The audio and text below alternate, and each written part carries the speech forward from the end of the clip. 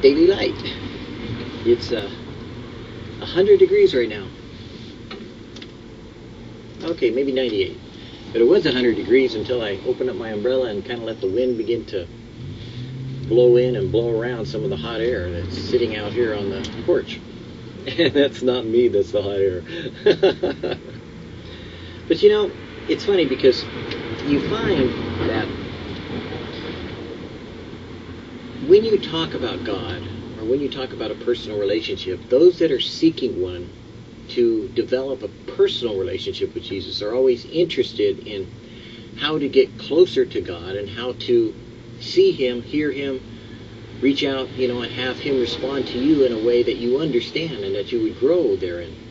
But, you know, there are people that don't necessarily want that same perspective. They don't necessarily want to grow up unto him in all things, you know, becoming more like Jesus or becoming closer to him. They prefer a distance, like the people that were at the bottom of the mountain when they came to Sinai, when they were in the desert, when they wandered in the wilderness, and then the, they came to the Mount of God, and Moses went up and they said to Moses, Look, you go up there, you know, and you tell us what God says, and we'll do that. But we don't want to go up there, you know, because we're, we're a little afraid of him, you know. And unfortunately, today's world with religion, a lot of times that's what it's structured for, is to keep people distant from God rather than to develop you as a personal relationship with Jesus. And you need to have one. So it's okay if you want to be distant, you know, but God desires to make you and Him personally intimate so you're not following the ways of men, but you're following the word of the Lord. And in a personal way, it's very satisfying, and in some ways, it's challenging and perplexing.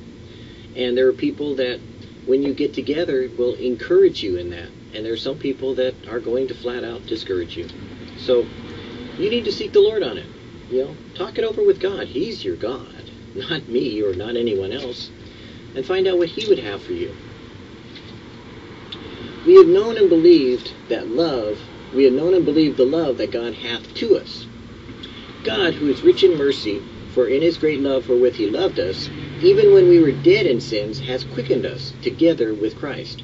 By grace are ye saved, and hath raised us up together, and made us to sit together in heavenly places in Christ Jesus, that in the ages to come he might show the exceeding riches of his grace in his kindness towards us through Christ Jesus. God so loved the world that he gave his only begotten Son, that whosoever believeth in him should not perish, but have everlasting life. He that spared not his own Son, but delivered him up for us all, how shall he not with him also freely give us all things? The Lord is good to all, and his tender mercies are over all his works. We love him because he first loved us. Blessed is she that believed, for there shall be a performance of those things that were told to her from the Lord. You know, the gospel is so simple. It's really just what God has done and proved that He wants to do in you and for you because He loves you. And it boils down to just simply that. God loved you. God gave His Son for you. God delivered you. God will save you. God wants you to follow His Son. He says, Here's my beloved Son in whom I will please. Listen to Him. He turned it over to the Son because you couldn't understand what the Father had to say when it was in the Old Testament or when it was going along and all the people were there. It was designed as living witnesses for us to learn from and to disciple, you know, as far or to discern as far as what was occurring in their lives, so that we could see that God recorded their good side of their life and their bad side of their life, and yet grace and mercy still extended to them as well as to us now. And yet Jesus comes and he explains it in a simpler way, and we have a personal relationship with him if we want it. Do you? The law is very easy to manipulate. Jews have been doing it for thousands of years. It's called the Torah. It's called the Halacha, which is added to the Torah in order to build a fence around the Torah to protect the Word of God from it being polluted, from it being distorted, from it being used, and from it being transgressed. There are four aspects that are always protecting it, and it keeps anyone supposedly from committing sin so that way they would not fall into the same place when the children of Israel touched the Ark of the Covenant to steady it and dropped dead. Because they treated the holiness of God with such austerity that they created such a wall of separation that sin itself was that which was protecting them from the Torah. they created righteousness into sinfulness. And that Jesus would not tolerate. And so when he came, he showed that there was a greater law at work the law of the heart. The law that came from the love that God had for you.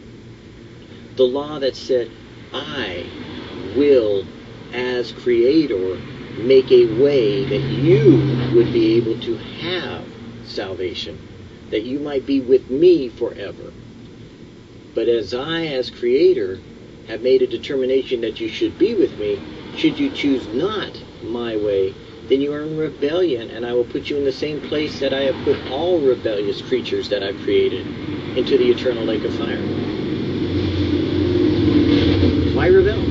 If you don't know if God's real, prove it to yourself. Find out. Try it. It's that simple. I mean, it doesn't sound like it's real complicated, does it? Say a prayer, get there, get real with God, and find out if He's real. If you don't think He's real, put Him to the test. Check it out. Jesus said, Follow me. You know, you already know what the religious ideas are, but you also know that a personal relationship can be yours if you just sit down with the Bible and ask God to reveal it to you. He'll show you the way. And then church becomes a blessing, and religion becomes a joy. And you'll find that a relationship is the icing on the cake. It's the foundation from which all those others come from.